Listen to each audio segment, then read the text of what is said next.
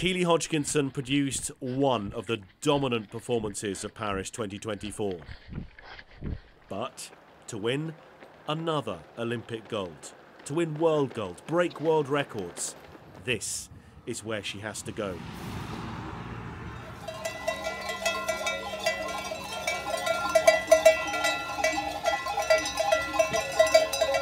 6,000 feet up in the Pyrenees Mountains, where the air is thin, the work painful and punishing. Joe said, if you become Olympic champion, um, I'll forgive you Sunday. Has he stuck to his word? Yeah, he has, yeah.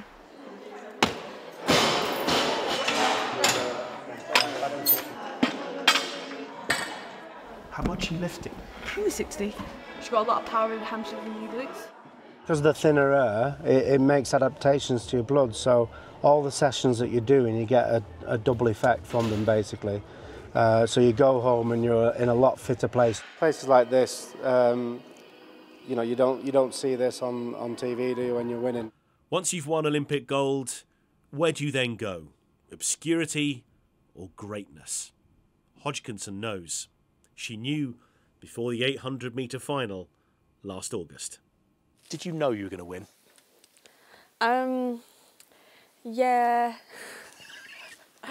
I think you have. Um, I feel like I'm quite intuitive sometimes, and I just felt like um, I'd done all the work to make sure that this was like my year.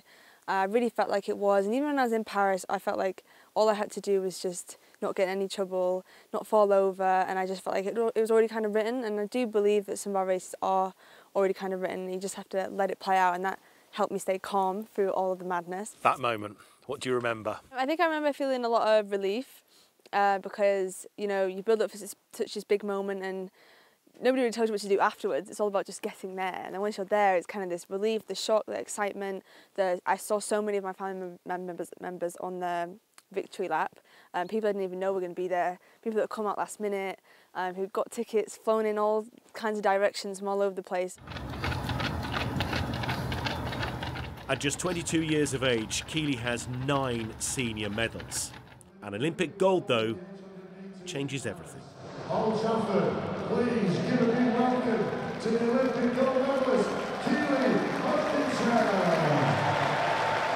That was really fun. I think the best part was, well, see my mum's face because she's a huge United fan and um, we got to meet Sir Alex and a couple I didn't know what the players were, but my mum did, um, and she was buzzing. So it was just nice to give them that experience as well. What's changed? How's it um, changed you? How's it changed your life? I really wanted to just embrace everything that came with it. So I had some really good opportunities that came up with something really fun. I got to really enjoy being an Olympic champion, um, which is, crazy the difference between a silver and a gold sometimes, which is which is mad. But it's just things like you know people are a bit more aware if you're an Olympic champion than a silver medalist. It's just like having that title I think is just a bit more known. And in Britain, we are a small country, but we really get behind the Olympics and people really enjoy watching it. And they're seeing a young girl get a gold medal, I think it kind of, and maybe the blonde hair as well, kind of um, sticks in their mind a little bit more. Part of Keely's success, a coaching team of a husband and wife who've become a second family. I actually thought no one is going to beat Keely. The only way Keely could lose is if she didn't keep her composure. But I had 100% faith that Keely can line up on the day, keep that composure. If she's got the leg speed to get close to the, her big rivals, uh, they can't outstrength her. So um, it, it's a magic formula, really. Did you know that they knew that you were yeah, ready to win? Yeah, because we have these conversations where I, I do a lot of my belief is done off what they believe. Like if they tell me, Keely, can go 155 today, then I will believe I can. It's it's kind of a communication of process, I'd say. But I think what works best well for us is is they plan my life so well that I'm able. You keep on saying I know, it's You true. keep on saying. like my mom and my dad and Jen and Trev together, they like they make it so that I literally can just turn up to training, do the training, and focus solely on that, and I don't have outside stresses.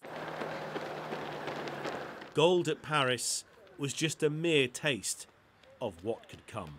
There's no silvers and bronzes now. We've got to be gold all the way forwards. We don't want to take any backward steps. I, I just hopefully think we can, well, Keely can, dominate. And um, we've got the world indoor record to go at. The next couple of years, we've got that really tough world record to go at. But I think she can do it. We all, we all believe, we know what comes next, and Trevor's the man with a plan. He knows what to No nudge pressure. and when to nudge it. Yeah. Plan is nothing but gold and a world record. Well, world records in Well- and It hasn't outdoor. been broke for 40 years. Yeah, I know. Yeah. Yeah. Been 41 years. I Yeah. think the indoor one's easier to get than the outdoor, but you know we'll have a crack at both and see what see how what, see what happens. All good. See you in a bit, guys. See ya.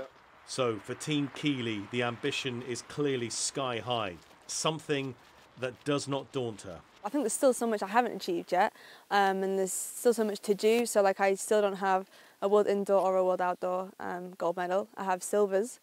Um, there's so many championships. I think that there's there's records to break. There's new boundaries to push, and I think the Olympic gold was hopefully just the start of many more to come.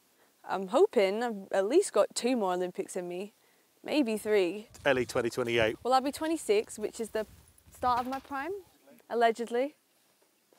Um, so yeah, I think it's just getting to LA and doing it all over again. To be the best doesn't just happen. Keely's altitude training in the Pyrenees will be followed up with hard days in the rain and cold at home around Manchester. Further altitude camps later this year and early next year before the Olympic champion goes for nothing but gold in 2025. Geraint Hughes, Sky Sports, French Pyrenees.